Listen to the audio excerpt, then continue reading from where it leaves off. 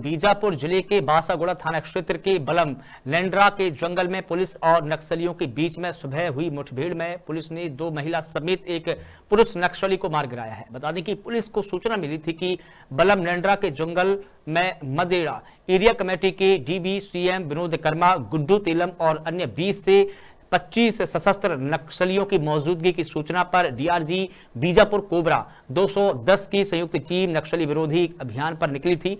अभियान के दौरान शनिवार की सुबह बेलम गुट्टा के पहाड़ी में पुलिस और नक्सलियों के बीच में मुठभेड़ हुई। कुछ देर चली मुठभेड़ के बाद में पुलिस ने दो महिला नक्सली और एक पुरुष नक्सली को मार गिराया है। साथ ही जवानों ने घटना स्थल से हथियार, विस्फोटक और अन्य सामान भी बरामद किए हैं। बीजापुर से संवाददाता विजय की रिपोर्ट।